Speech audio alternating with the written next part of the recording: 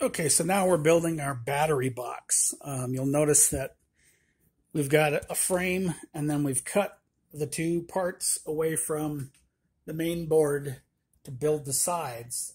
And then I've got another one over here to build the back of the box. And then I'll put uh, some sides on it so that I can install those on one side and I'll leave the other side blank for something else. But yeah, this is the this is the, the unit in itself. And the reason you build it together is because you know it's going to be this far away from each other. So it's just a matter of rerunning the wires back up and down. And you've got everything, including your relays right here, ready to go. And everything is serviceable. Um, these will get swapped out. Uh, th these will get swapped out for little wing nuts, uh, just to make it easy that if it ever has to be broken down, it can be. Or you just undo the two bottom screws and pull it out this relay, unfortunately, is going to have to move. It's in the way of this screw hole.